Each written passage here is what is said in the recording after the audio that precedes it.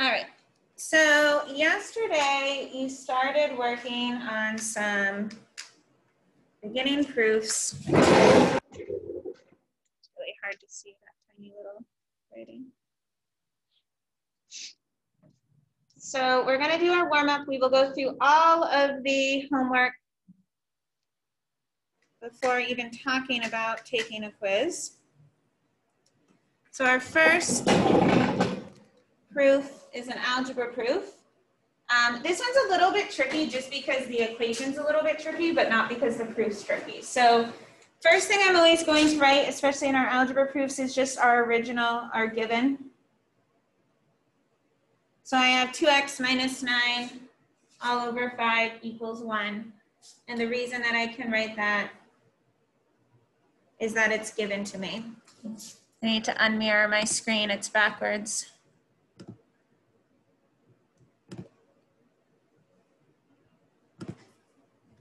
Okay. So then to go from here, we have to understand that the inverse of dividing by five is to multiply by five. And so I would be multiplying by five on both sides and I'm just gonna write it out over here because we wouldn't show our work like in the proof. But in algebra class, what happens is I multiply by five. That doesn't multiply the numerator at all. It just cancels out. Five divided by five is gonna cancel. It's like if this was five over one, I'm really just reducing that and saying five over five is one over one. So I can get rid of that five and it's just going to leave me with 2x minus 9 on the left-hand side, and then 1 times 5 would give me 5. So from this, I can state this, and then what is my reason that I can state that? What did we do? Multiplication, yeah. My reason is multiplication.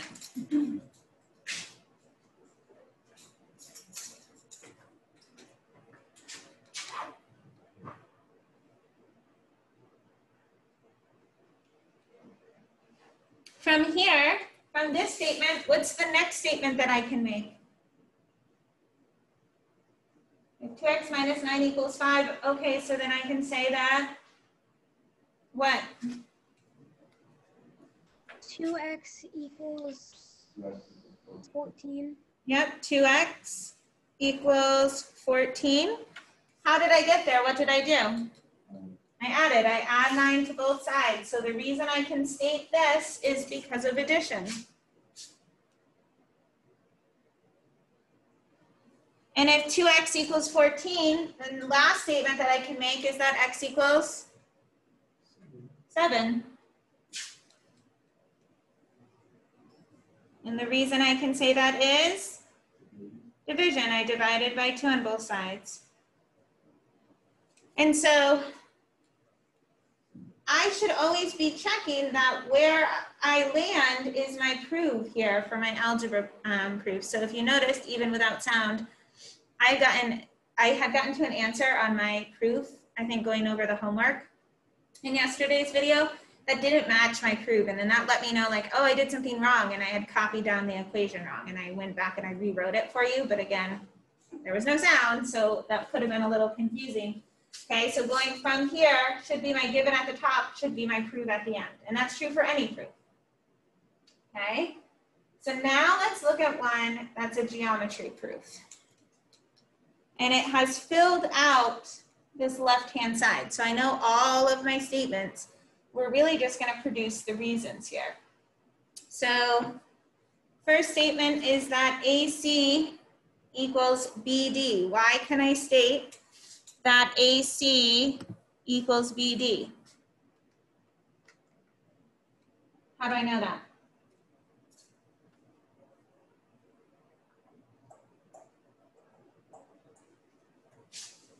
It's given to us, right? It's given to us that AC equals BD. So this statement is just our given.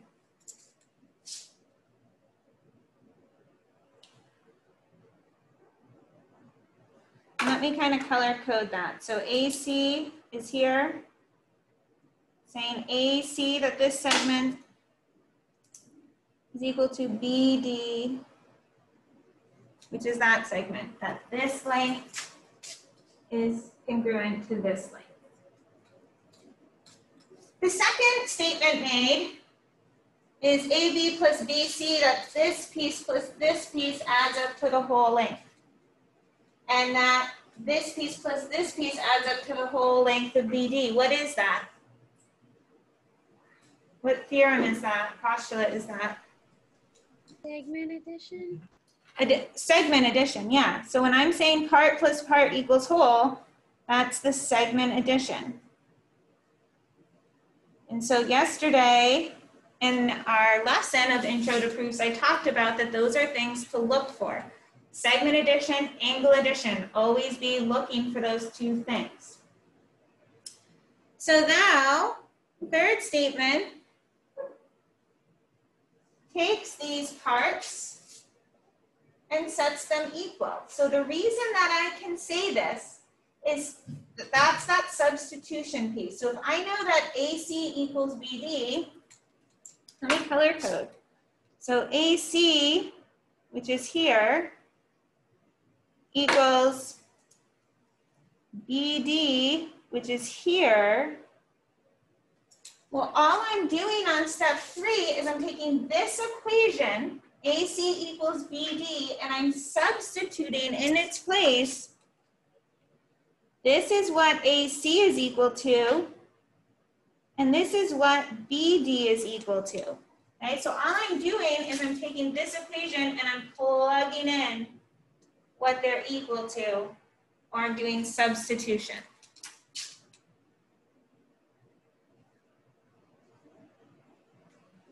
Now I kind of feel like this proof is missing a step. So I'm gonna change step four because we talked about it yesterday in our notes. So before I get to this, I'm going to add a step to our proof. And that step is going to be that BC equals BC. That's a new property we learned yesterday. What is that property called? Something equals itself. Reflexive property. I remember it from like a reflection. Like I'm here, the reflection in my mirror is the same thing. Reflexive property, okay? We use the reflexive property, for example, if I didn't have that diagram to go along with my explanation, it's important to point out that this is the same thing. Like this BC is equal to this BC, it's the same segment. That's the reflexive property. So I'm adding in a step and writing reflexive property. And as long as that's the same value, BC is equal to BC, well then, okay, so I have an equation here. Here's my balance beam. If I subtract BC here, I have to subtract BC here, but it's keeping this equation balanced. So the reason I'm saying this is this is the same amount. I can take out that amount and just be left with AB equals CD. And that's what it wants me to prove. Okay, so now I know I'm done. So in terms of when do I know where to stop, you stop when you get to your proof. Okay, and the reason that we can say that is subtraction. We just subtract subtracted out the same amount from both sides of my equation. Doesn't feel great, right? It doesn't feel like an algebra equation. Feels harder um, or different, but that's what we're doing is subtracting the same amount from both sides. Okay, let's look at our next proof in our warm-up again, pre-filled. Let's see what it gives us. So this lists all the givens together. Uh, when you do a proof, I could either list it all here or I could list like one and two and then separately three and four and for both of them I can write given. So you can clump it or you can break it down how whatever works for you. But this is what was given to us. Now, anytime I have a proof, I take that given, I write it down, and I label it. So one is equal to two. I'm gonna label that. One and two are the same measurement, okay? I also know that three and four are the same measurement.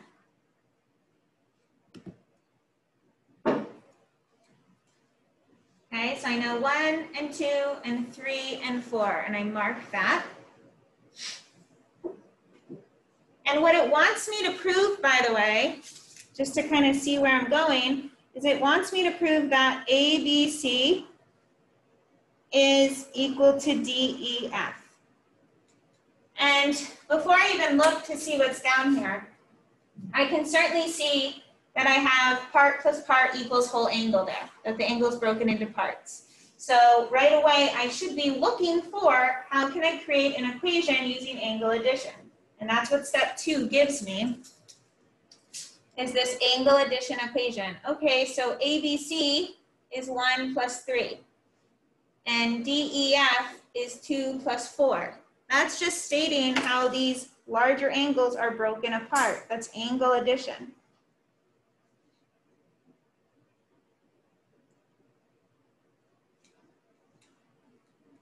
This is the tricky stuff.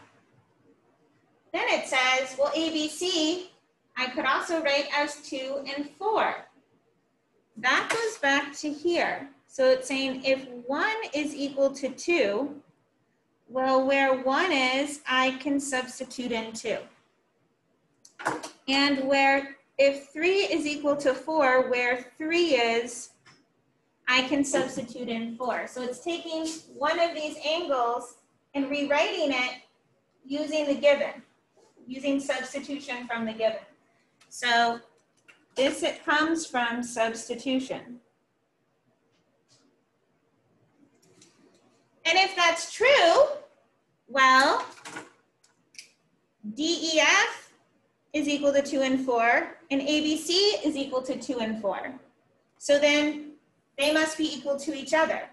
And so again, what you're doing here is you're saying, well, D and F is equal to this. So where this is 2 and 4, I could instead write DEF. So it's substitution again.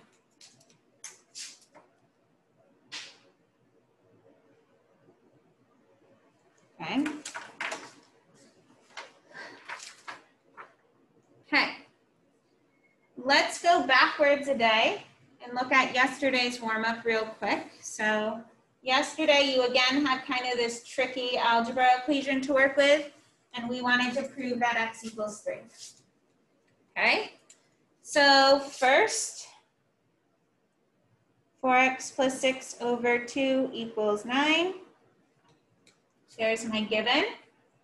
And then again, to get from here to here, I'm multiplying by 2 on both sides, which just gets rid of the division on this side. And 19 times 2 gives me 18. So to get to step 2, we use multiplication. What would my next statement be? So I have 4x plus 6 equals 18. What would my next statement be? 4x equals 12. That's statement 3 because I just subtracted 6 from both sides. So subtract 6, 4x equals 12, subtraction property. And last, x equals 3 because of what property? Division. Okay. Those proofs should feel like gifts at this point. Those are like the gift proofs. Like here's an algebra proof. You feel very comfortable in algebra class. The other ones are, are the ones that are a little bit trickier. So now, if you want to get out your homework, a couple of things here.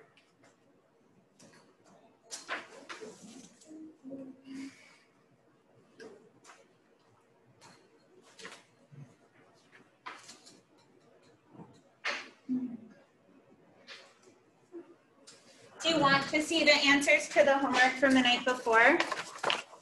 Homework 11 again? Recording's paused. Oh. Shoot. Oh well. Okay, so I have my given. dw is um, equal to on. Now step two says DW is made up of DL plus OW. What would I fill in here? ON is equal to?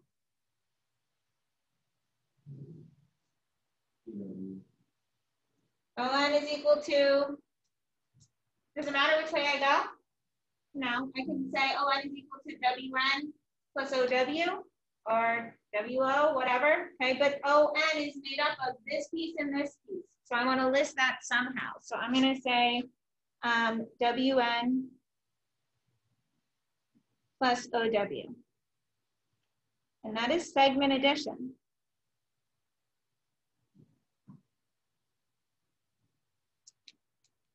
Okay, so start with my given. This is a look for. I should always be looking for segment addition and angle addition. And step three says substitution. So what do you think we're gonna do next? We know these segments are equal. We know that they're broken down into these parts. What are we gonna put here? We know that we're substituting somehow. We'll put these two things together. Okay.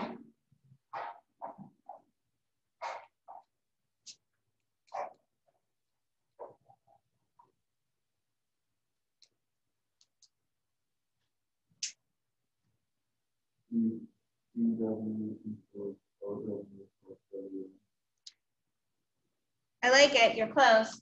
So I'm not gonna have DW anymore. Where DW is, I'm gonna plug this in.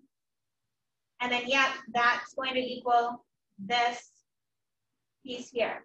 Okay, so I'm gonna take DW and I'm gonna substitute in its parts, so DO plus OW. And I'm gonna take ON and I'm gonna substitute in what it breaks down into, which is WN and OW. That's substitution. So taking this initial statement and then plugging in what each of those segments are broken down into. it says OW equals OW. What property is that? Something equals itself, reflexive property. Yep. Something equals itself, that's a little reflexive property. Why do we care that this equals itself? Well, if it's the same thing, well, in any equation, I can subtract the same thing from both sides. Get rid of it. And then I can say dw equals wn. Or sorry, not dw, do equals wn, which is what we want to prove, by the way. So that's good that we landed there. And we did that by subtraction, subtracting out OW.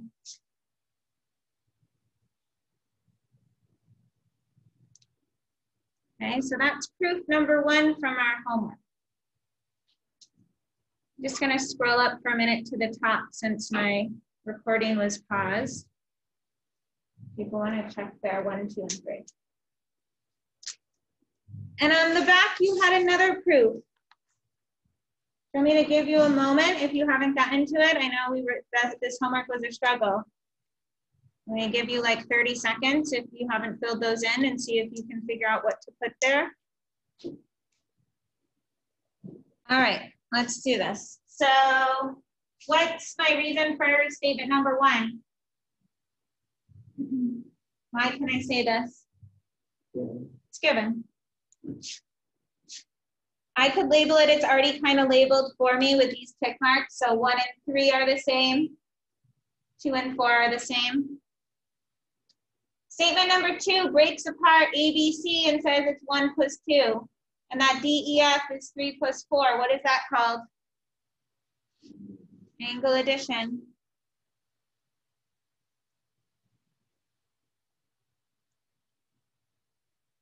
And then it rewrites DEF as one and two instead of three and four. What happened there?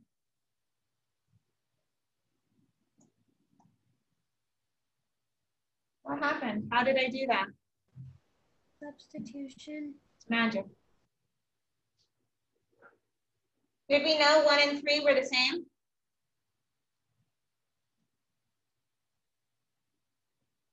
We did. One and three is the same.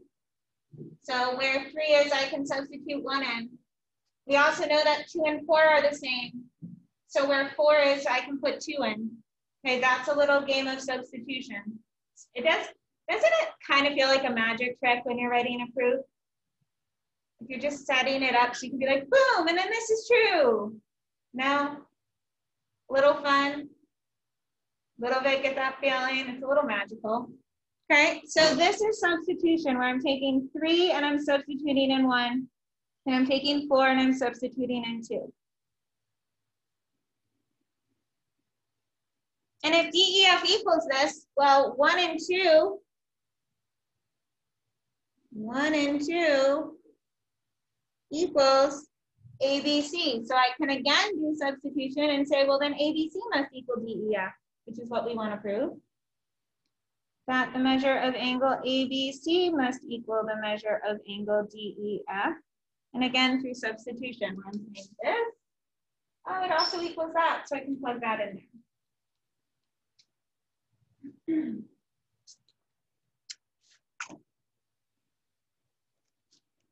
Okay, so now I would like for you to find your notes from yesterday. You should have the first two pages of notes number seven done. But we're gonna pick up on um, the page, it says definition of midpoint and definition of bisect at the top.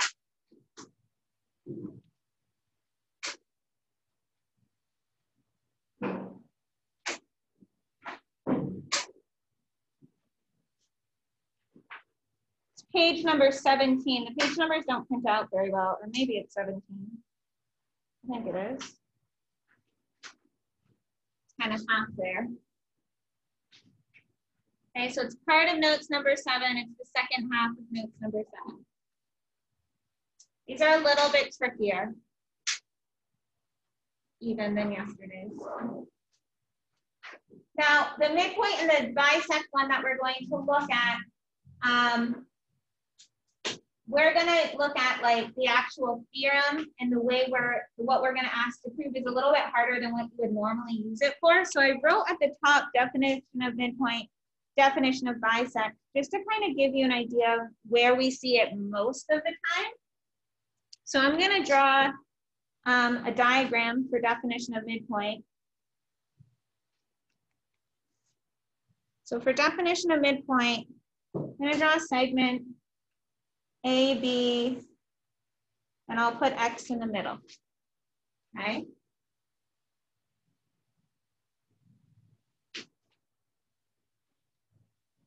And so if I'm given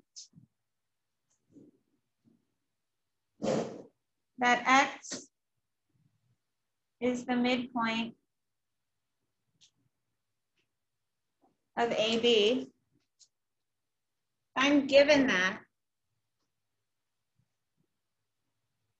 in my proof, or if I'm just asked what I can conclude from that, given that X is the midpoint of AB, I can say that AX then is equal to XB. That's, that's how we see midpoint most of the time. Okay, again, the proof underneath is a little more formal than that. So given that, I can say that AX then is equal to XB. That this length then would be the same as that because X is in the middle. The reason I can say that is definition of midpoint. So in our proof, we would write this. I usually shorten definition. And I even shorten midpoint usually and write it as MDPT, okay? So if this is given to us, we know this because that's the definition of the midpoint. And that's how we see it 99% of the time, not quite as formal as the one we're gonna do down below. We also see bisect, so bisects with an angle. I have an angle. Let's call it angle ABC. And I have a ray in the middle. That is bisecting my angle. Bisecting means it's cutting the angle into two equal parts, okay?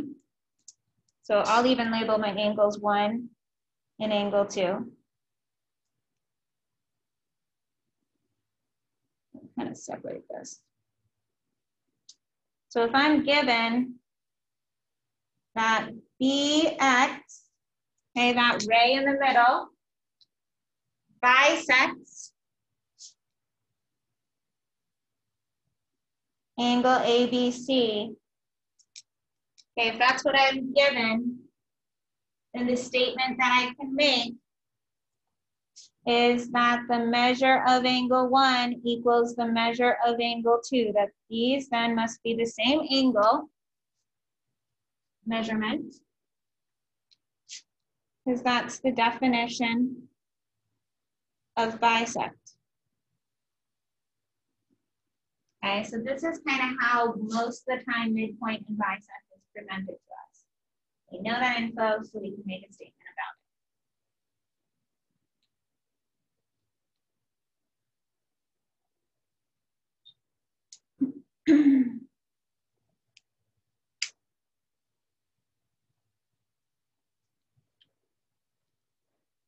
Okay, so now we're going to try a couple of proofs with midpoint and um, bisector theorem. And these are, again, a little more involved because it's asking for something very specific here, which is fine. Um, I'm going to give you our givens and our proof. So the given that we're going to have on this proof is that M is the midpoint of segment AB. That's my given. And we want to prove this theorem. Okay, so the theorem that's written above that says if M is the midpoint, then AM equals 1 half AB and MB equals 1 half AB. So our proof is that AM equals half of AB. And we also are going to have a second proof, which is MB equals half of AB. Put our segments in.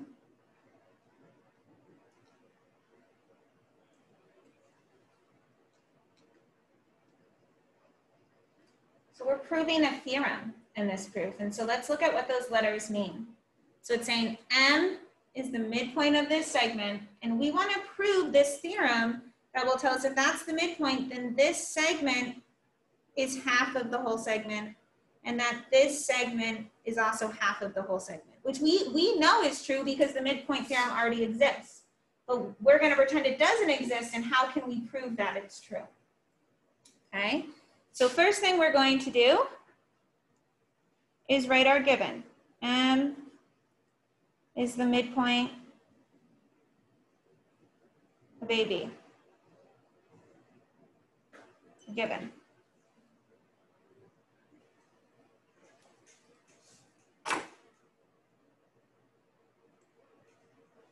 If I have midpoint, I'm going to follow it with the statement. What would that statement be? What's the definition of midpoint mean? So M is the midpoint of AB. What then is true? We wrote an example up above. If M is the midpoint of AB, then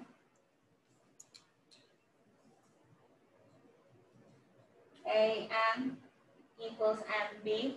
Okay, if M is the midpoint. So anytime, any, any time in a proof you have midpoint or bisect, we're gonna follow it with a statement like that. So then AM equals MB. That is the definition of midpoint. And I could label it if I wanted to. So then these are the same length.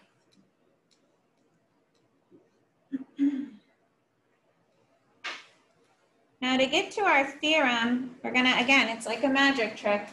The next thing I'm gonna write is that AM plus MB, that these two parts equal my whole segment. Okay, so those are equal parts and they also equal the whole segment.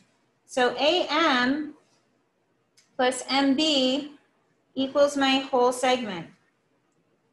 What's that called? Part plus part equals whole.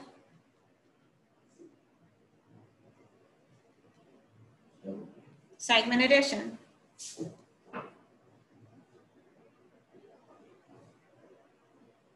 Okay, are you ready for some magic?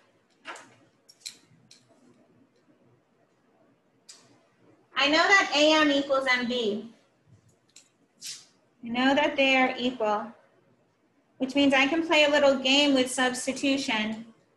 And where MB is, I can plug in AM because they're the same value. It's like X equals three. Oh, okay, so I can plug three in for X. MB equals AM, so I can plug AM in in its place, which would give me this equation.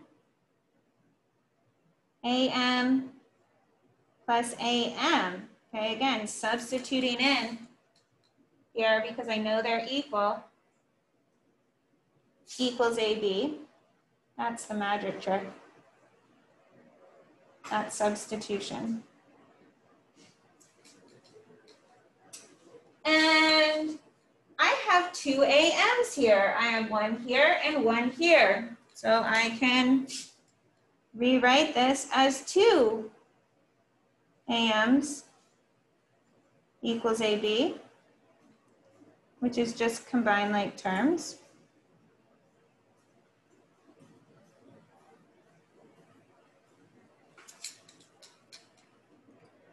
And if 2 AM equals AB, then I could divide by 2 on both sides and rewrite that as AM equals AB over 2 or half of AB. And all I did was divide by 2 on both sides, just like I'm solving an equation.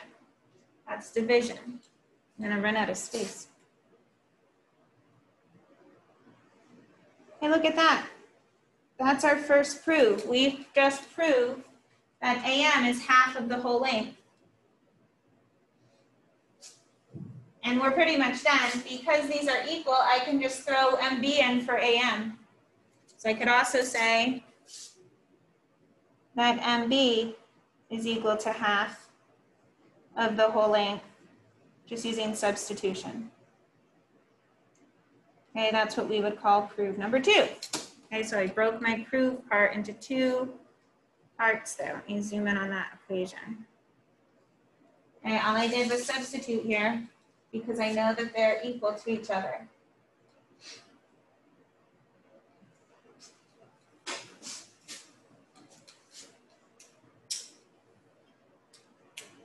That's our formal proof for the midpoint theorem. Again, most of the time when we use midpoint, we're just using that Step number two, M is the midpoint of AB. Okay, so these parts are equal, definition of midpoint. That's most of the time all we'll see with that. Okay, so um, I think I'm gonna skip the angle bisector theorem so that we have time for our um, quiz because that's pretty much the same as up above, but with angles instead of segments. And again, we don't see something quite that formal all the time. But I do wanna do the proof on the back here and talk about our last property for this unit, which is our transitive property.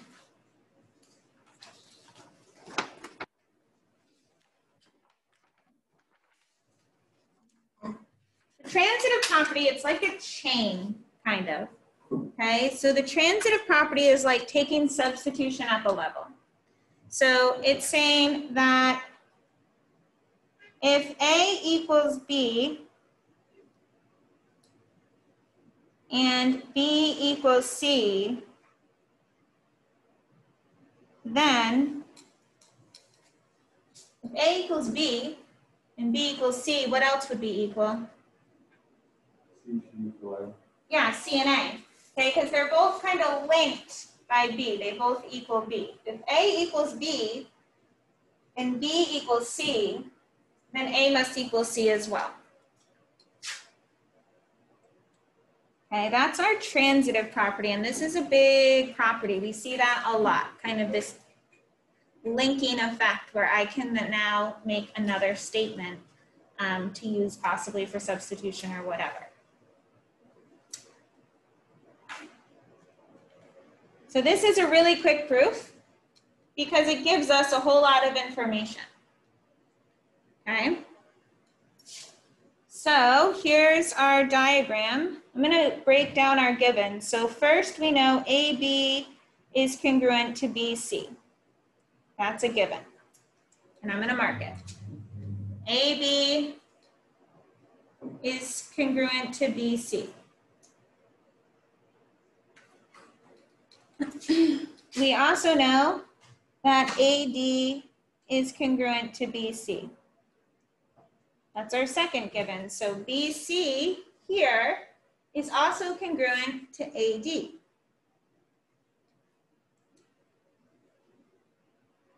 Oh, did I go out of order?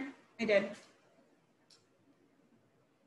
I skipped to here, didn't I? That's okay. AD is congruent to BC. The other given is that AD is congruent to DE. Given. So I went out of order in how I wrote it, didn't I? AD, BC, AD, DE. So this segment AD is also congruent to DE. Huh, looks to me like all those segments are the same length, right? Because I can kind of see as I went through, AB to BC, BC is also the same length as AD, AD is also the same length as DE. Okay, they're all the same length. And what it wants me to say is that DE is congruent to AB. Well, can I say that?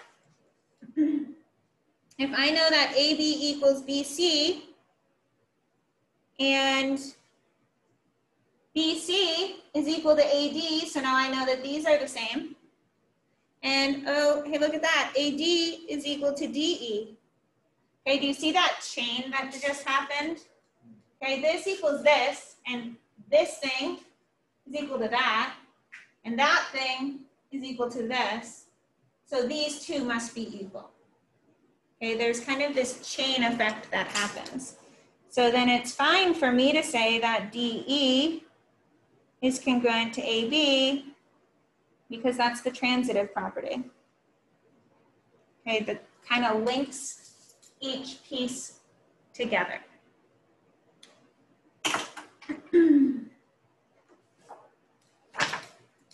what you will see for homework tonight is a quiz review. This second quiz, I've decided to not make a formal quiz. So it'll be like a checkout quiz. So it'll be a little bit of a heavier weight for a checkout, but I'm not gonna put it in as a summative grade because we're still working on proofs. So what will happen is tomorrow when you log into Zoom, we'll go over this quiz review. So all the proofs, all of it, but it's not all proofs, right? So there's other stuff in here. It's the if-then statements, Okay, and the converse and the biconditional or the counter example, that's um, notes number five, I wanna say, and homework 10. Okay, that's this stuff. The other thing that was is on this quiz that we haven't looked at yet or discussed on yet, ooh, um, is segment and angle addition. So here I'm just setting up an equation. This piece plus this piece equals the whole length. That was aggressive, Miss Matt. Um, and then once I solve for x, it's asking me to solve for a few other things. But again, we'll go over all these questions tomorrow over Zoom. Here's an angle addition, and then you angle addition, and then you see an algebra proof, and then one fill in the blank geometry proof. And your checkout quiz is pretty much the same. So tomorrow we'll log in, we'll go through all of this, and one of your assignments tomorrow is um, to do the checkout quiz afterwards, okay? Um, we're also gonna take some very light notes tomorrow. So it's super important to be there. If you're not there, absolutely watch the video or else you'll feel really behind when we start doing unit review. We're almost at the end of the unit. Um, what we're gonna do now, let me just pause.